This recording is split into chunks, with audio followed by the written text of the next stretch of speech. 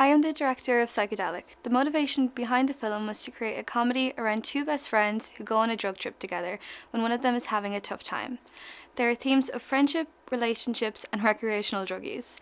As a first time director, I learned the importance of being able to adapt to changing circumstances without compromising the story.